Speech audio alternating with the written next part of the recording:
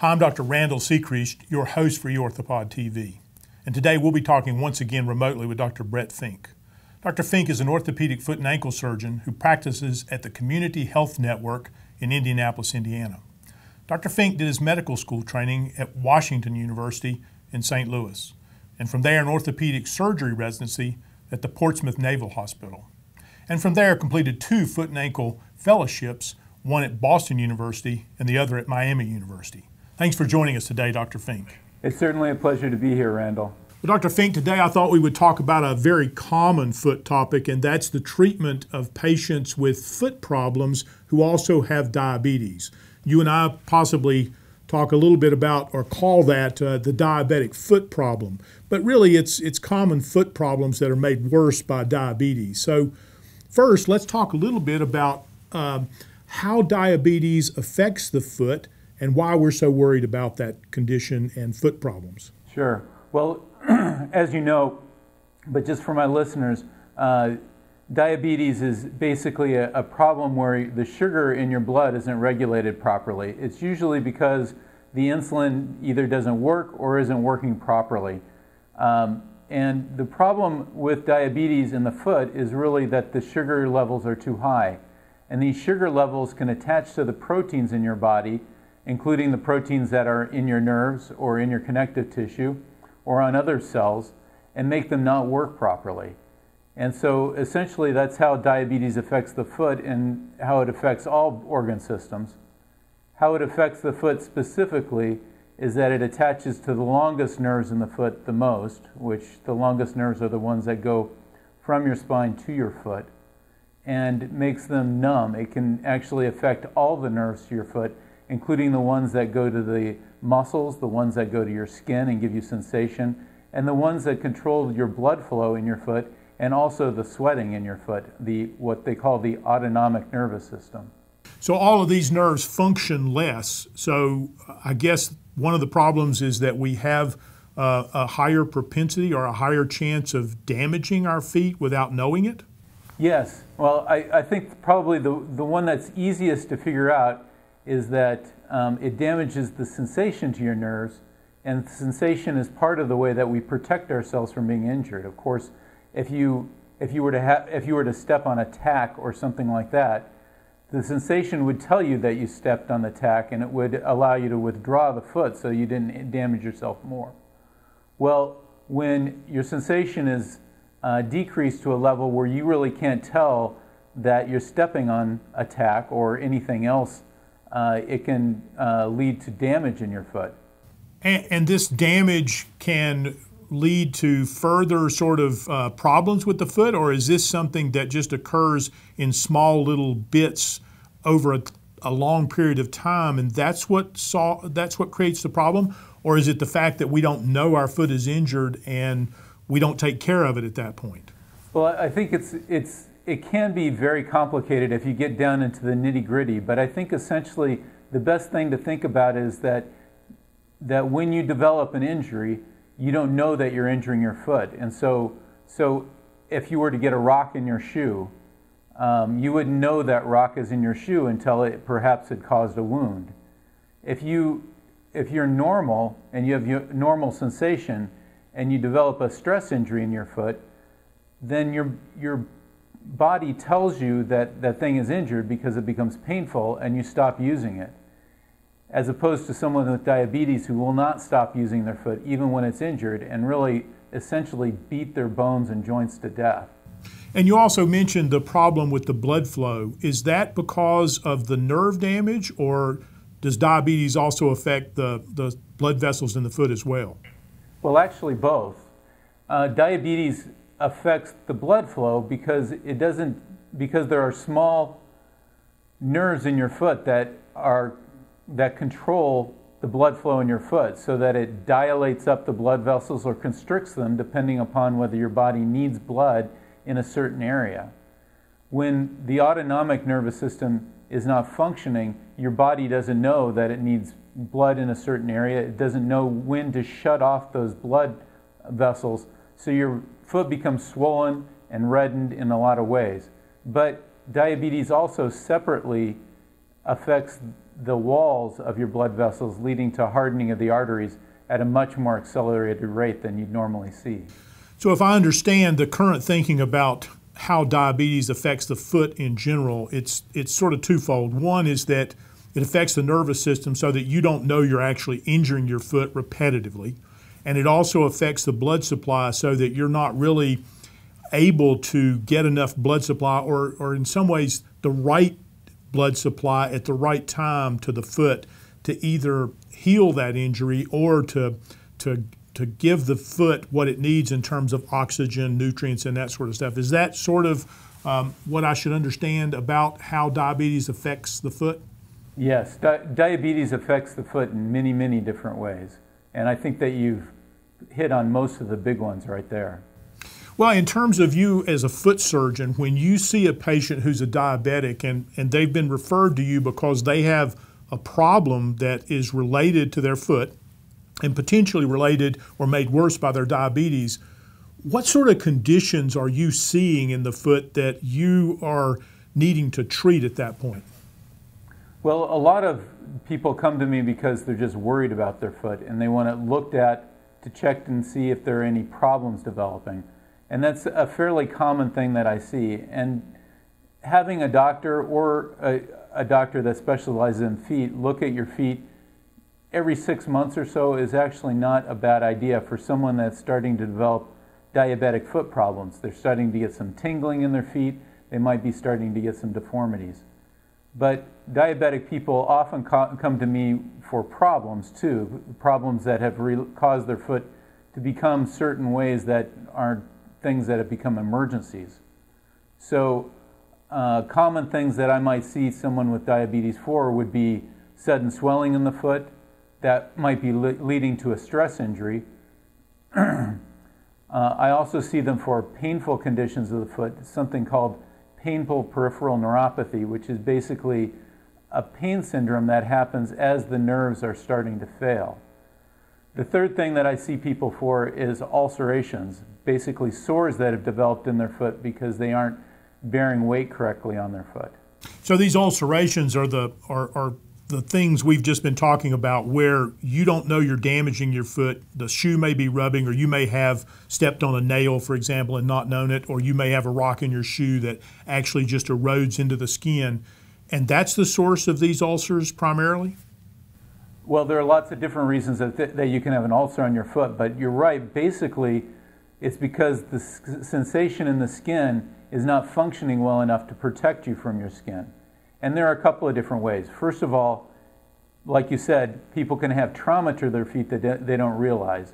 They can wear a new pair of shoes that don't fit quite properly and are putting pressure in a certain area of their foot that has actually caused the skin to die. The other thing is that they can they can have a foreign body in their in their shoe, which is actually fairly rare.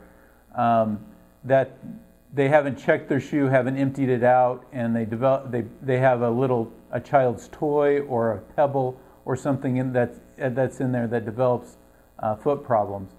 But probably the most common reason for people to develop ulcers on their feet is because the weight on the bottom of their foot isn't being um, transferred evenly from the bones to the uh, uh, ground. And this causes pressure concentrations in the foot, which lead to calluses. And the calluses, because they are basically like a hard thing on the foot, uh, can lead to an ulceration too. Well, let's talk a little bit about prevention. You mentioned prevention, um, and you mentioned that it's probably a good thing for patients who are starting to have problems develop because of their diabetes with their feet it's a good thing to have some sort of physician take a look at their feet once every six months. What are you looking for during those visits? Well, we look for we, the first thing that we do is that we check for their sensation, and we use a small filament that uh, that will apply a 10 gram force to the bottom of the foot, and we try to see if they can uh, detect that. Because many people come in and they they don't feel any tingling. They don't really know that their sensation has been cut down until we check them with this filament, which applies a very specific amount of force, and we see if they can, they can sense that.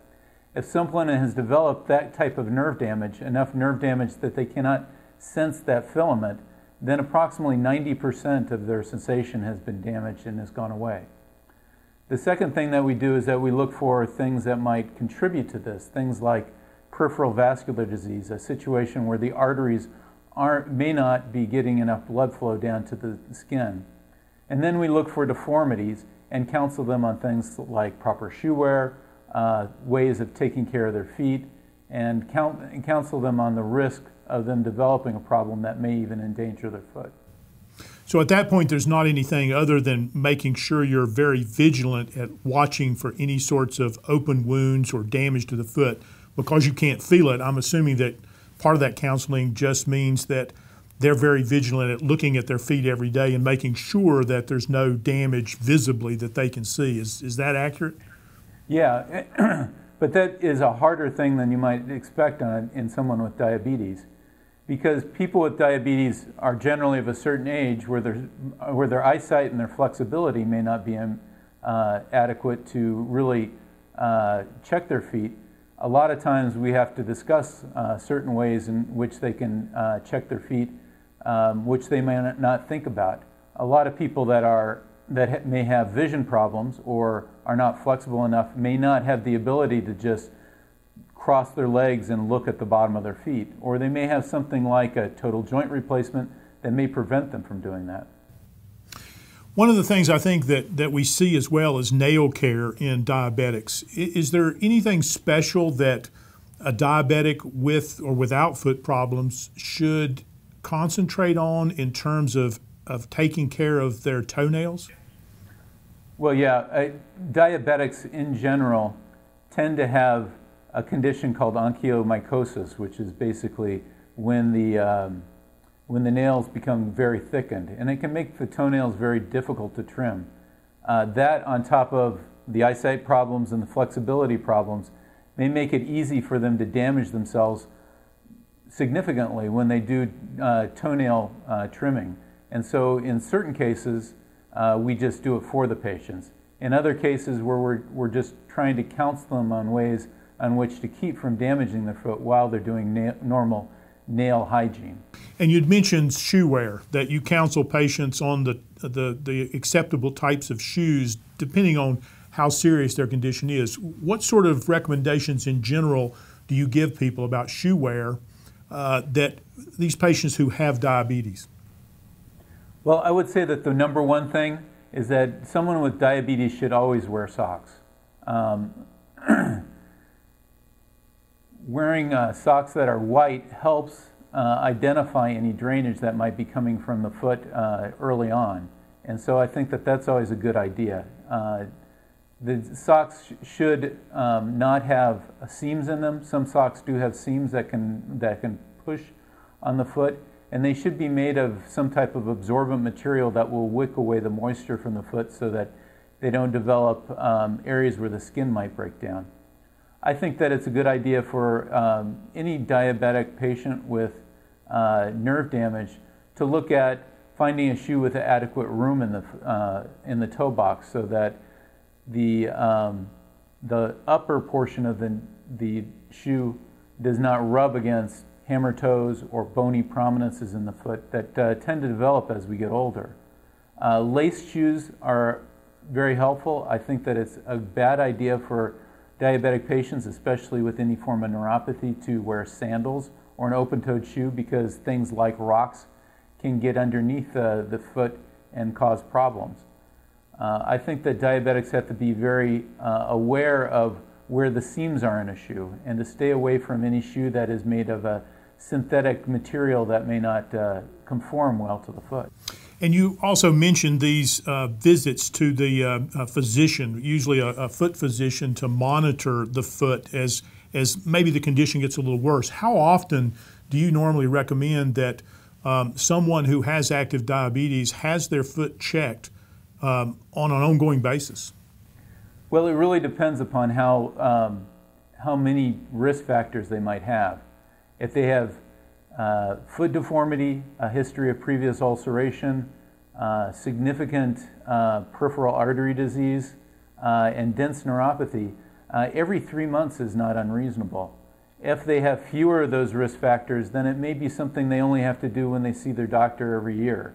Uh, and it, like I said, it really depends upon the, intensi- the intensity and the number of risk factors they have that might um, cause them to have a higher chance of developing ulcerations or other problems associated with the foot.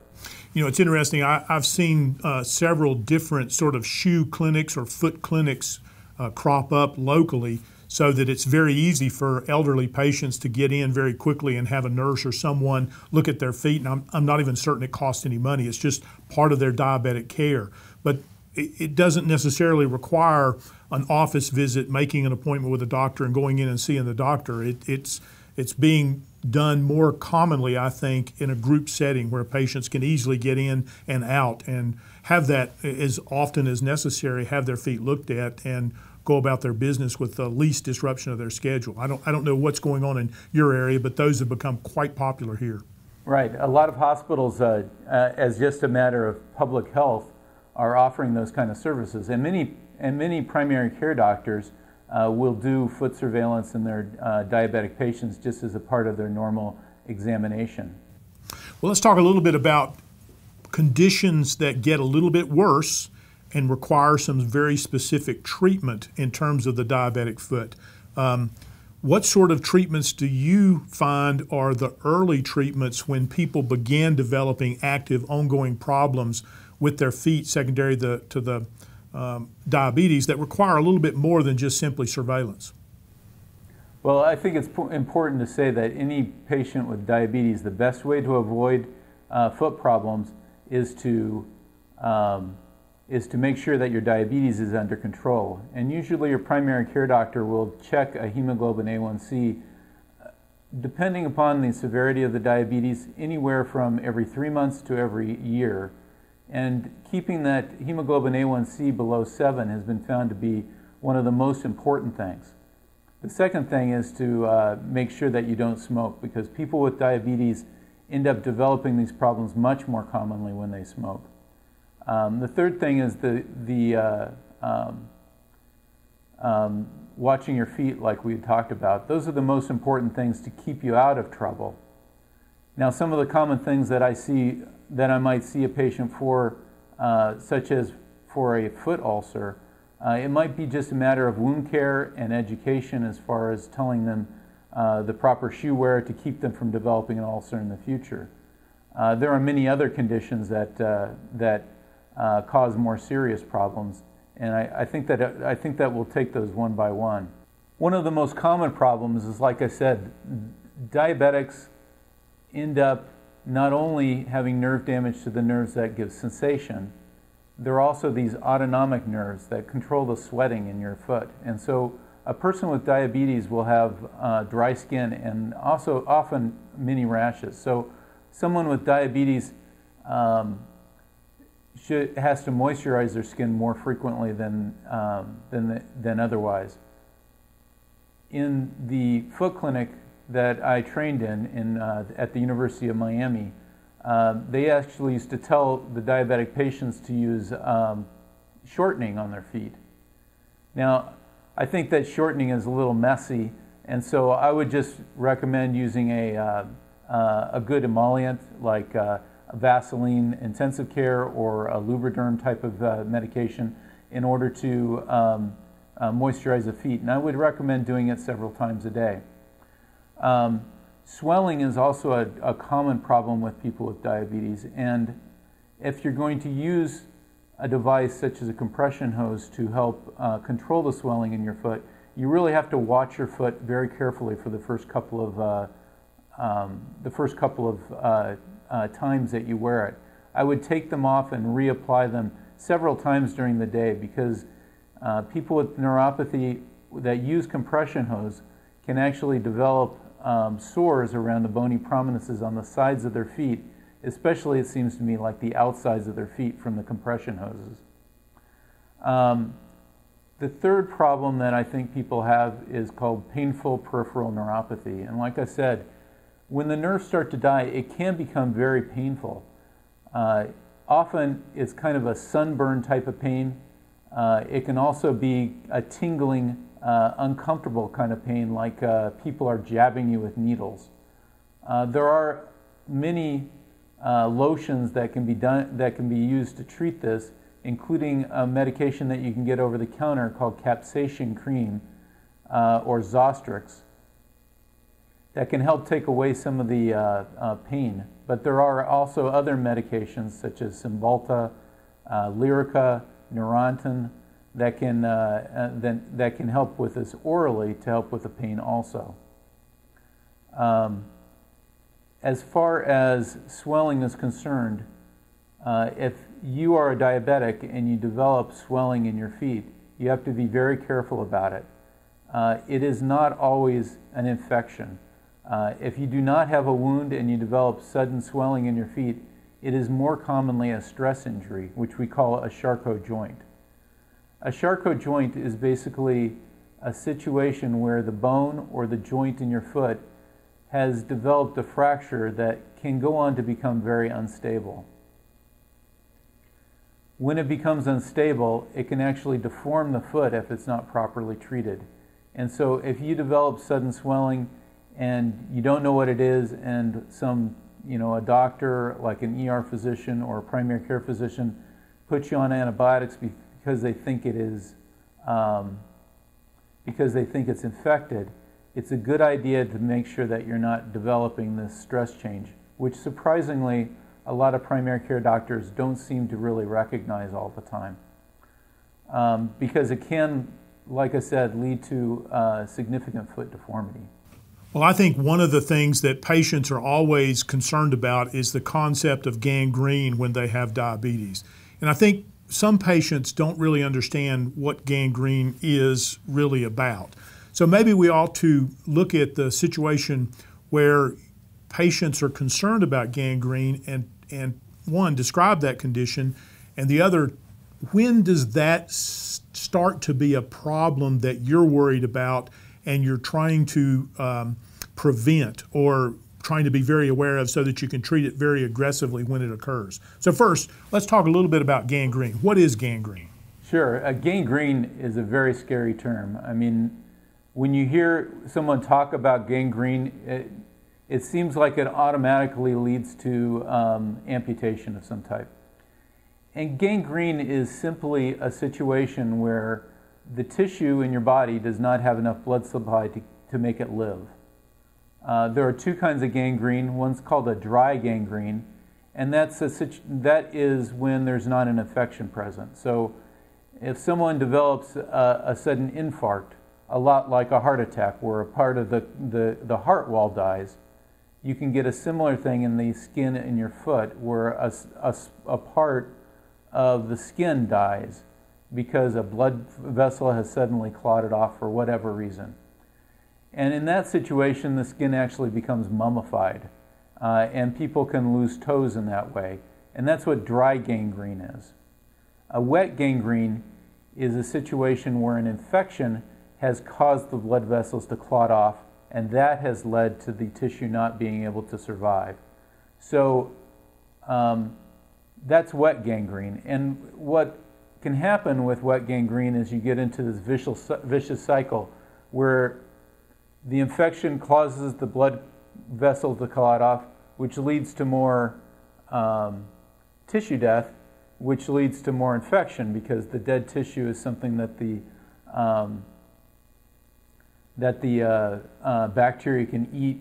Um, so gangrene is always a, a very a significant concern because it means that your tissue is dying. So it has to be treated aggressively. Uh, generally, we treat it by removing the dead portions of the tissue and allowing the live portions to recover by getting rid of the infection or to make it so that the blood uh, supply is re- reestablished in the foot so that if you have a clotted blood vessel, uh, we'd ask a vascular surgeon to see you to make sure that it's not clotted. Um, so that, that is uh, more or less the treatment of, uh, of gangrene uh, is not quite as scary as it sounds. It is something that just needs to be treated aggressively to make sure that it doesn't get worse. And I think we should point out that you know patients with diabetes have multiple different reasons for developing gangrene. One is we've mentioned that they they have a very low sensation once the diabetes and the peripheral neuropathy gets more advanced, so they can't feel when they have an injury. Second is if their diabetes is under poor control, they don't fight off infections, and in fact, the high blood sugar actually promotes the growth of bacteria. So there's a second sort of strike against them with, with the infection sort of getting out of control faster than it would in a normal person. And then, as you pointed out, most patients with diabetes also have some element of vascular disease, so they already don't have good blood supply. And again, blood supply is very important for, for fighting infection. It brings in the white blood cells, it brings in oxygen and then takes away some of the, uh, uh, the toxins that are formed by the infection. Plus, it also helps to get those antibiotics in where they need to be. And if you can't get those antibiotics, you can't get oxygen, you can't get nutrients into that area, the infection is very difficult to treat without just simply removing the portion that's infected. So I, I think I think we've all had the opportunity to see uh, a gangrenous limb that, as you mentioned, just sort of cycles, gets into this very bad cycle of just getting worse and worse and worse uh, without being able to intervene. So, thank you for that description. Exactly, all very good reasons to treat this aggressively and to just make sure that your um, that your sugars are under good control and that um, and that if you have uh, blood supply problems to your foot, that they're monitored and treated as aggressively as uh, they should be. Well, I think I think the the key here that we've sort of hammered home is to treat your diabetes um, seriously and and get your blood sugar under control. And I think you also mentioned the combination of smoking and diabetes is is is very bad combination. And if uh, it's one of the things that uh, you should aggressively try to quit smoking if you are smoking and develop diabetes.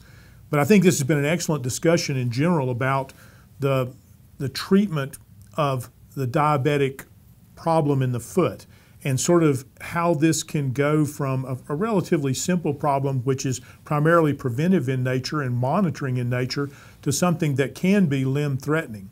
Um, you know, if you develop the, the serious complications of, of uh, diabetes that result in developing gangrene in one of your toes or in your foot from one of these injuries, it can lead to a fairly rapidly advancing uh, limb threatening uh, condition.